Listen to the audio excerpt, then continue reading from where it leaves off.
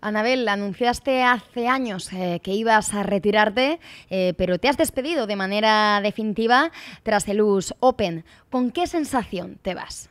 El día que fue mi último partido fue un día triste, la verdad, me dio, me dio penita.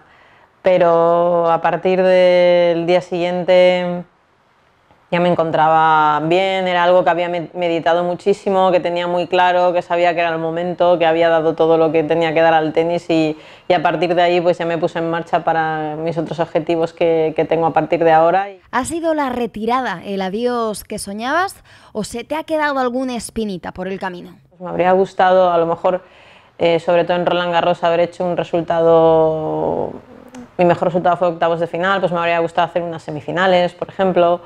Eh, también en Australia que me gusta, o haber ganado un torneo más grande, aunque he conseguido ganar 11 títulos a nivel individual, pues alguno eh, más grande, pero bueno, esas son cosas que al final pues que repasas porque somos gente muy, muy exigente, pero eh, no me puedo quejar en absoluto de, la carrera que he tenido. Una de las cosas que se me quedó grabada es cuando otros compañeros se retiraron, pues dijeron que pasaron una época un poco complicada porque como que notaban un vacío. Entonces eh, yo no he querido eh, dejar pasar el tiempo y he ido preparándome un poquito después de mi retirada, pues el tener ya cosas y objetivos bonitos que me hicieran ilusión. La Copa Davis va a experimentar un cambio de formato. Eh, como capitana de la Copa Federación que eres, ¿consideras que también tendría que seguir un poco la estela y modernizarse?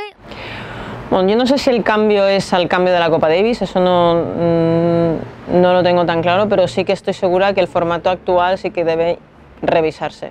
A día de hoy hay dos grupos mundiales de ocho países y sinceramente el tenis está a un nivel altísimo y creo que países con este caso como España que se encuentran en el segundo grupo mundial no tienen mucho sentido porque al final eh, las jugadoras buenas y de, alto nivel lo que quieren es aspirar a ganar, a ganar la Copa Federación y estar en un segundo grupo mundial les resta motivación a la competición. Y en esa carrera han habido buenos momentos, eh, pero también malos. Eh, ¿Cuál ha sido el peor momento de tu carrera?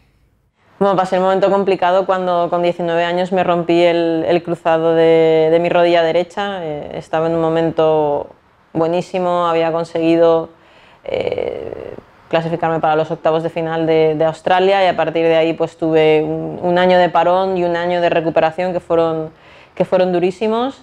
Pero bueno, fue hace muchos años, ya de raíz de ahí, después de recuperarme, pues pude dedicarme prácticamente sin ningún tipo de problemas durante toda mi carrera al tenis y bueno, son momentos que los deportistas pasamos y siempre nos hacen más fuertes. ¿Imaginabas al comienzo, cuando eras una niña pequeña, que sería así tu carrera?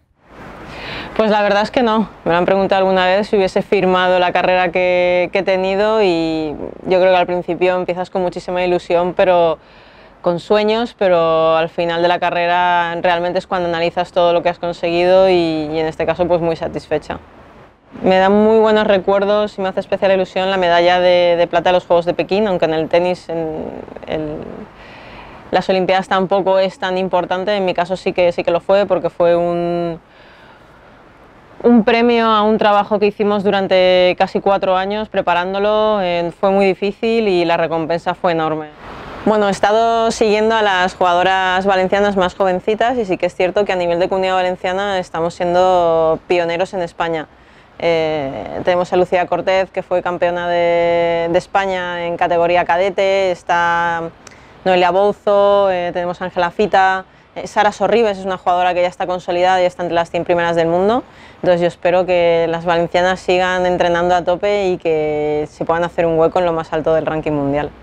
Se tiene que seguir trabajando, pero poco a poco va, evolucionando. Yo recuerdo en mis inicios cuando, empecé a jugar que había una diferencia enorme. Se ha ido luchando para que eso eh, vaya mejorando y a día de hoy nos encontramos con con una situación muchísimo mejor en la que eh, la mujer está equiparándose eh, respecto al hombre, obviamente dependiendo un poquito del deporte también eh, es diferente, pero en el caso del tenis, que es a lo que, me, lo que me he dedicado yo durante toda mi vida, en este sentido creo que somos unas privilegiadas y, no nos podemos quejar al respecto. Yo siempre digo que son tres factores importantes, el psicológico, el físico y el técnico. Es decir, si una jugadora tiene esas tres cualidades, puede llegar a ser eh, tenista profesional. Luego habrá que ver en qué, de qué forma eh, potenciar esas tres, esas tres cualidades, pero lo veo importantísimo y sobre todo eh, hay que ser ambicioso y hay que tener mucha fuerza de voluntad. La verdad que agradecer a Ghost Media eh, por, este, por este premio es un reconocimiento a mi carrera, que, bueno, he podido recoger algunos otros premios, pero nunca referente a, mi carrera profesional y bueno, siempre es de agradecer el, el que los medios de comunicación tengan este, este detalle conmigo. Totalmente, al final es una manera de, apoyar a deportes minoritarios a que tengan más visibilidad y que tengan más patrocinadores. Una vez eh, esos eh, deportes salen en los medios de comunicación es cuando las marcas los ven y de esta manera se puede ayudar a, los deportistas que son polideportivo, deportes de polideportivo que en este sentido tienen menos visibilidad pero que tenemos que concienciarnos para dársela. Soy una chica con carácter, tengo carácter pero soy bastante alegre, me gusta mucho reírme un poco perezosa en el sentido de que me cuesta levantarme a hacer planes, pero una vez me pongo me gusta mucho y lo disfruto. Me gusta estar rodeada de mi familia y de mis amigos. Sé que muchos me van a recordar por mi carácter, que, mm, que no daba una pelota por perdida, que tenía la capacidad de la lectura del juego y luchar hasta el final, hasta encontrar ese, ese hueco donde poder eh, coger eh, la ventaja en el, en el partido y, bueno, sobre todo, em, creo que siempre he buscado el ser justa, el, ser generosa con, con, la rival, siempre que el juego lo, lo permitiese, con, haciendo un juego limpio y siendo respetuosa y eso también es importante.